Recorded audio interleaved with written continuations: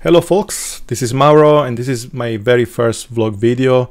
So at the moment my setup is not the greatest, right? You, you can see it, right? It's not like I don't have the, the highest quality camera, I don't have the the, high, the best equipment there is, but I think it's it's a it's it's a good startup point, right? It's uh it is it is.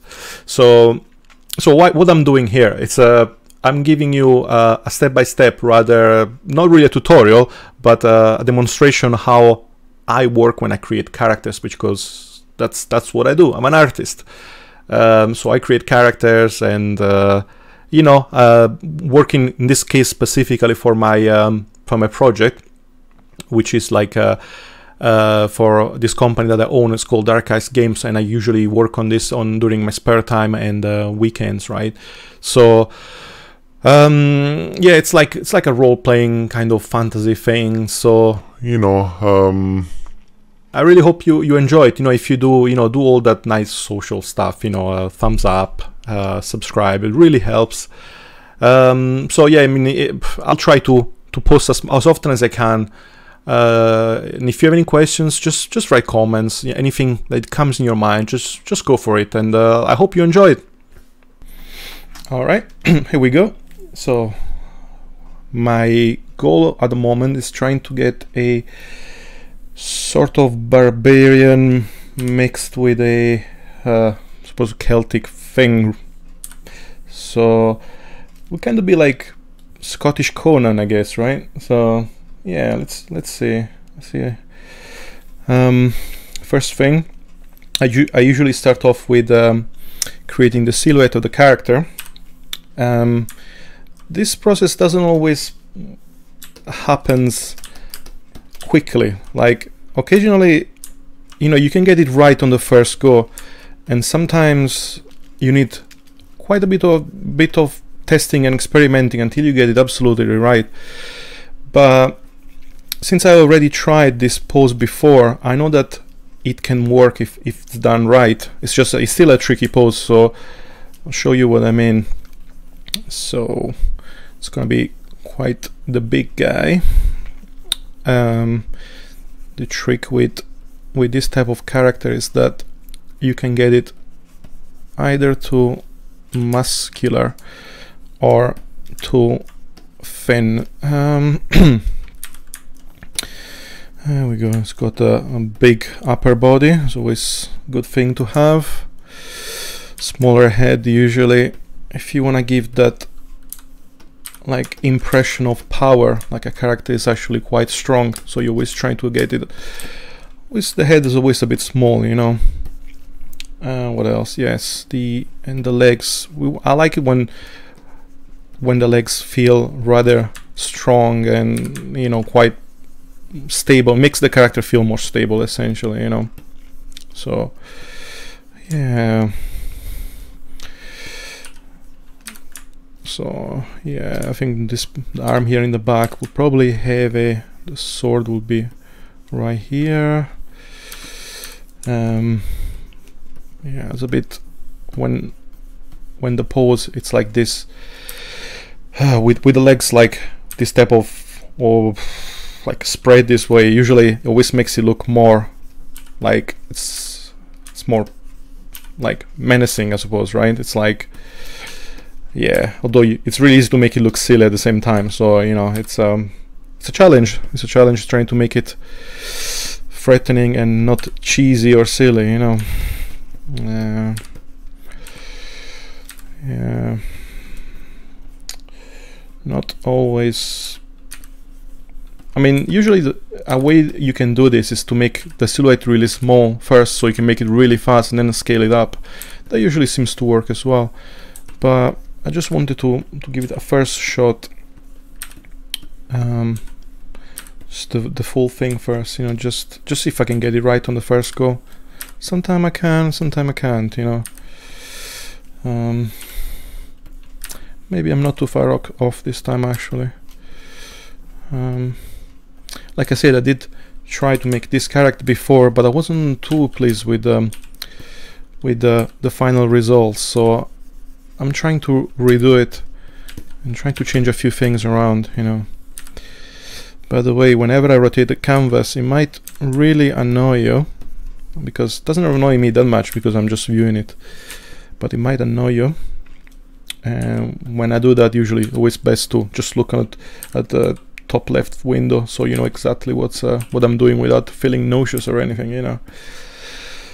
Yeah so so yeah starting to get there. And one trick you can do usually to see if, if the character is starting to look weird or what is by flipping it. Because flipping it usually reveals if there are any issues like glaring issues like in, in immediate.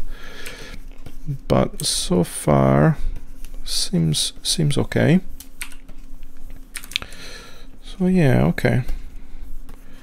I mean I know I'll fix it I'll fix this a million times before we reach the end of it but I'll just um, just keep on working you know I'll just keep on proceed to the next stage which is adding a bit of uh, lights just to to see where the light is hitting our character. So it's a good thing. Um, by the way since there are already quite a few tutorials on how to you know shortcuts and and all that on how to use Photoshop. I'm not gonna bog down with the details on how to do things. I mean if there are any questions just please ask but um, this this what I'm trying to show here is more like the the process behind it rather than straight on like a tutorial you know so, so yeah it's more like a more like a development really journal you know so yeah there we go. Yeah we're getting this guy quite nice and beefy. There we go. Yeah how about that? Also this window although I place it for your benefit so that you wouldn't be feel sick with me moving the canvas all over the place it's also really good for me to see um, on a without having to zoom in and out and see if my character overall looks fine or not you know it's actually a really good way of also of checking if something is if you're not doing something right essentially with your character um, yeah so a bit of light on the legs, knee.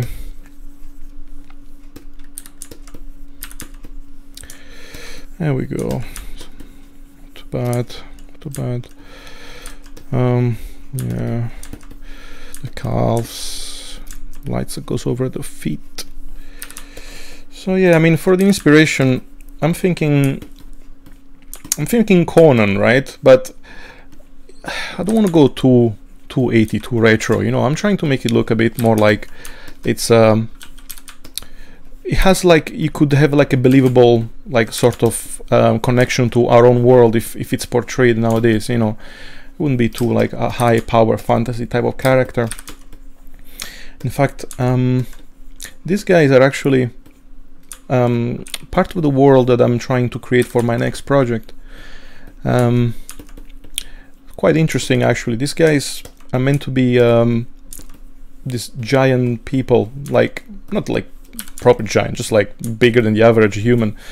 But uh, the story, as far as far as I have it down so far, is that these guys used to um, used to be uh, at one point just one type of people. They used to be just just these big guys, and then over time, uh, something happened in the past. Something I'm, I'm not sure if I still have have it everything like uh, nailed down on like a you know nothing nothing for sure but the idea is that uh, at one point in time uh, the two main brothers of sort of like the chief tribe at least so goes the legend right? Uh, they uh, they were they didn't like what I mean they were always trying to do to outdo one another. So they yeah they were like brothers and they were trying to outdo one another you know who was always the stronger who was always the the fastest and all that. So they were they were very competitive.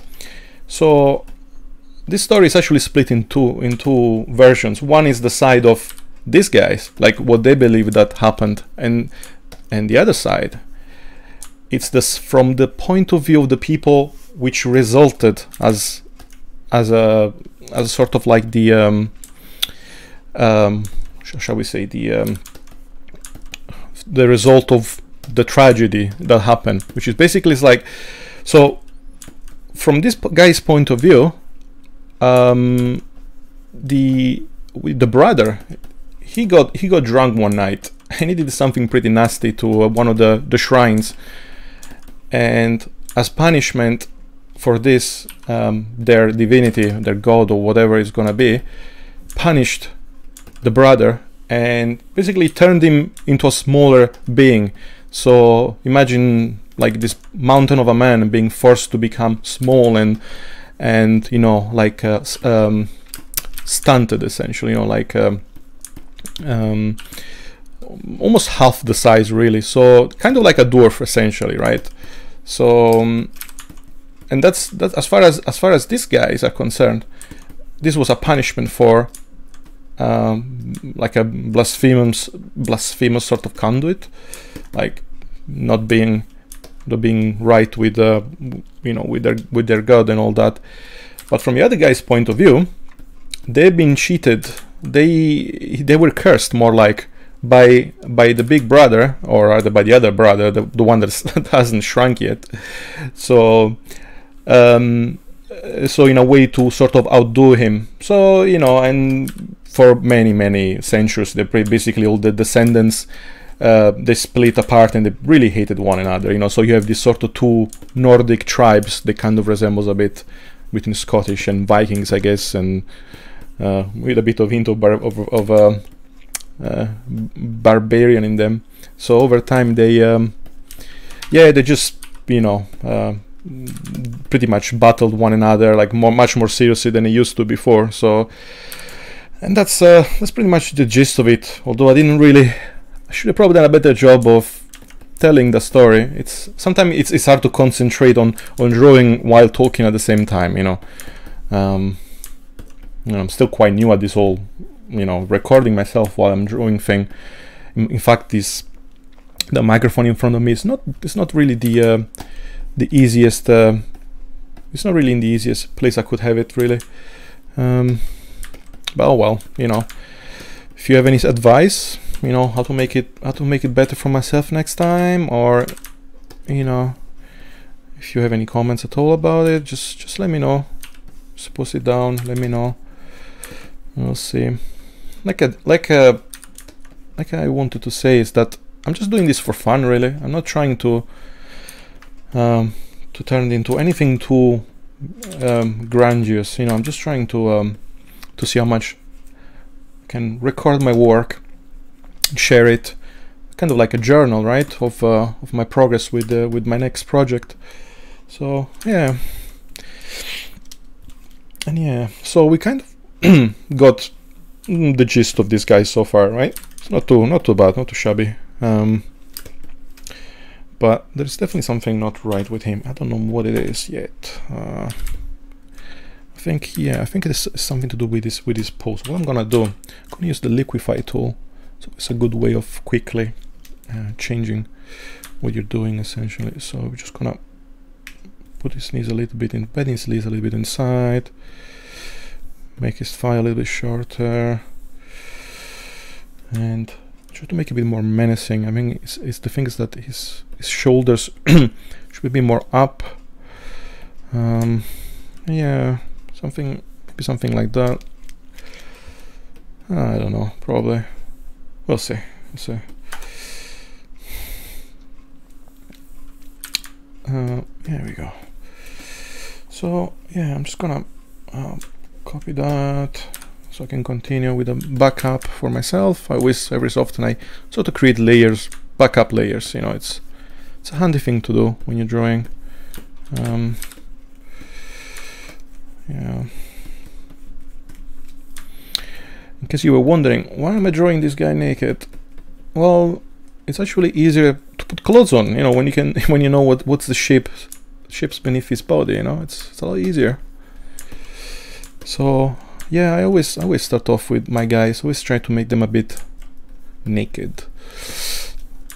Uh, just to to draw the musculature of him. It's one hell of a word, isn't it? Musculature. Yeah. Uh, There we go. There is actually um, a guy I like to watch sometimes. He's uh, he's funny. He does uh, he has done some board game reviews. It's called the Bard, and it's just saying musculature makes me think of him. I don't know why. Just just because I guess he says it and he says it in a really funny way, but nobody else says it like he does. So probably shouldn't try to say it, or at least not with the intent of sounding like him. um, yeah. Okay maybe it's time now to put some clothes at least on him. So what I'm thinking of is, um, yeah, I'm gonna go with the first like, like kind of like a kilt, since like I said, it's like it's a bit, it's got this um, sort of Scottish roots, right? So we're just gonna put something that resembles a bit of a kilt, but not quite. You know, it's a kilt that it's I suppose it's open here at the edges, so you know it reveals a bit of the leg, you know, because because we want to make it look like you know it's uh, still a bit uh, barbarous I guess you know and you know he, he, he enjoys to show off his own powerful body you know so yeah there we go we got uh, we got something it's a bit more decent now isn't it um what next um yeah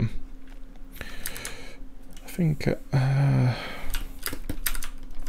just gonna draw a bit his sword his sword. Uh, yeah, something like that. Just, just quickly for now. Yeah, I actually wonder how many parts will I need to finish this because I said to myself I would do it in, in short half an hour bursts, but I really wonder how long that would take me because usually um, when I work I just let my mind go and it can be end up being pretty late by the time I'm done you know and you just don't feel the time passing. It's just like I don't know it's like playing a game right? You're just having fun. Um, so yeah this is fun. It's a lot of fun for me you know it's um, drawing is a nice way usually to think about stuff to let the brain go which is why it's kind of weird to talk to people while you're drawing because it's like I need to go quite against what I'm usually used to which is you know, just listening music, being quiet about it. Yeah. Oh. There you go.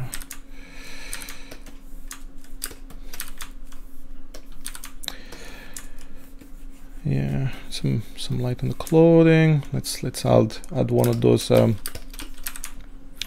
like something that holds this thing up, like a belt but this is gonna be a belt that also holds his um, a bit of protection. He's gonna have a bit of protection on him, not just a kilt. It's gonna have like um, something like a mail, a um, bit of ring mail protecting him, something like. That just covers the side of the body where he fights, right? So if he fights from this side and he receives blows from his side, so most of his defense, I would assume, would be trying to cover the left side of his body so he can keep himself mobile uh, on on the other side where the sword is. So just gonna add a bit of defense here. So something like something like that, like um, bit like um, a built-in ring mail, you know.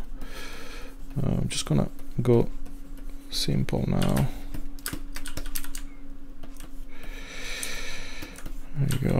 And then later we're gonna fill this in with all sort of things like um, show you real quick we're gonna just go you know just work on those rings and you know just to make it look like it's it's like that and you, you can just add a bit of noise now maybe just to just to give myself an idea you know what it's gonna look like yeah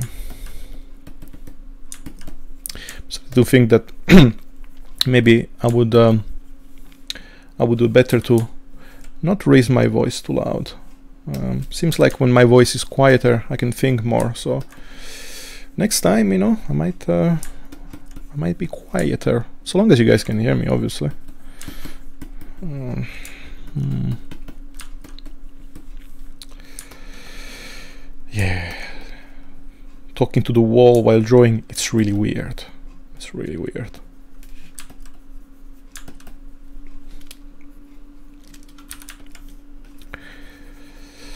Hmm. Okay. How about... Hmm. How long have I been so far? Yeah, yeah, I think... I think we are nearing down maybe uh, a good stop point, like a break point for now. And then, uh, you know, I'll continue another session.